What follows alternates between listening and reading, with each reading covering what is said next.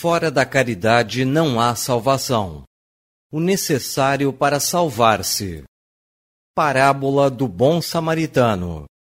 E quando o Filho do Homem vier em sua glória, e todos os santos anjos com ele, então se assentará no trono da sua glória, e estando todas as nações reunidas diante dele, apartará uns dos outros, como o pastor aparta dos bodes as ovelhas, e porá as ovelhas à sua direita, e os bodes à sua esquerda. Então dirá o rei aos que estiverem à sua direita: Vinde, benditos de meu Pai, possui por herança o reino que vos está preparado desde a fundação do mundo, porque tive fome e destes-me de comer, tive sede e destes-me de beber, era estrangeiro e me hospedastes, estava nu e me vestistes, estive na prisão e fostes ver-me. Então os justos lhe responderão dizendo: Senhor, quando te vimos com fome e te demos de comer, ou com sede e te demos de beber, e quando te vimos estrangeiro e te hospedamos, ou nu e te vestimos, e quando te vimos enfermo ou na prisão e te fomos ver, e respondendo, o rei lhes dirá: Em verdade vos digo que quando o fizestes a um destes meus pequeninos irmãos, a mim fizestes. Então dirá também aos que estiverem à sua esquerda: Apartai-vos de mim, malditos, para o fogo eterno, preparado para o diabo e seus anjos, porque tive fome e não me destes de comer, tive sede e não me destes de beber, sendo estrangeiro não me recolhestes, estando nu não me vestistes, e enfermo e na prisão não me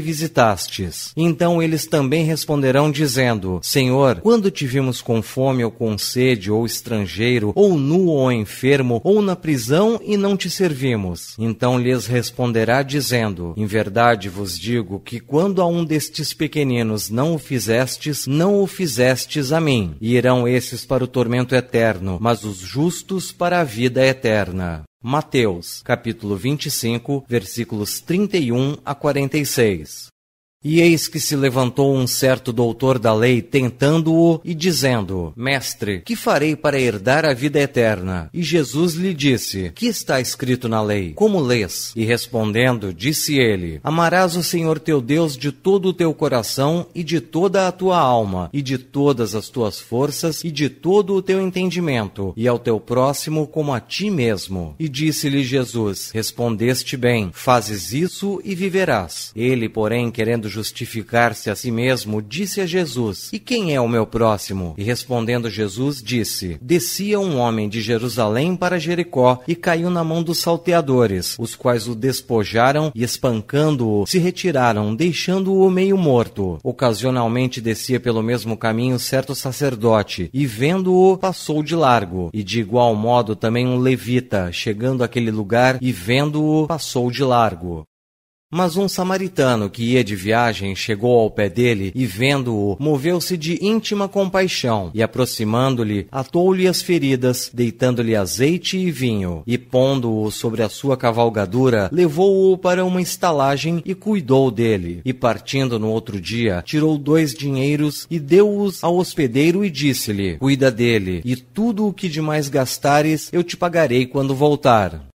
Qual, pois, destes três te parece que foi o próximo daquele que caiu nas mãos dos salteadores? E o doutor da lei disse: O que usou de misericórdia para com ele. Disse, pois, Jesus: Vai e faze da mesma maneira. Lucas, capítulo 10, versículos 25 a 37.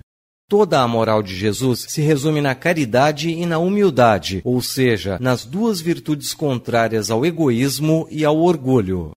Em todos os ensinamentos, Jesus nos mostra essas virtudes como sendo o caminho da felicidade eterna. Bem-aventurados, diz ele, os pobres de espírito, isto é, os humildes, porque deles é o reino dos céus. Bem-aventurados os que são puros de coração. Bem-aventurados os que são brandos e pacificadores. Bem-aventurados os que são misericordiosos. Amai vosso próximo como a vós mesmos. Fazei aos outros o que querereis que os outros vos fizessem.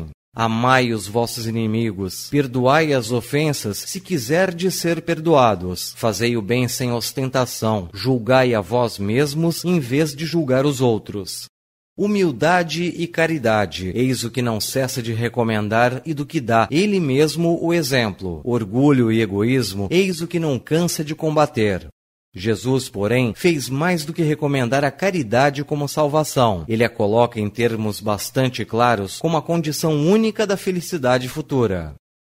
No quadro que Jesus nos apresenta do último julgamento, narrado por Mateus, é necessário, como em muitas outras coisas que ele ensinou, separar o que faz parte da figuração e alegoria. Há homens como os quais ele falava, ainda incapazes de compreenderem as coisas puramente espirituais. Ele deveria apresentar imagens materiais chocantes, capazes de sensibilizá-los. Estas imagens, para que pudessem ser aceitas, deveriam mesmo não se distanciarem muito das ideias comuns quanto à forma forma, reservando-se sempre para o futuro a verdadeira significação de suas palavras e dos pontos que na época ele não poderia explicar de modo claro e direto.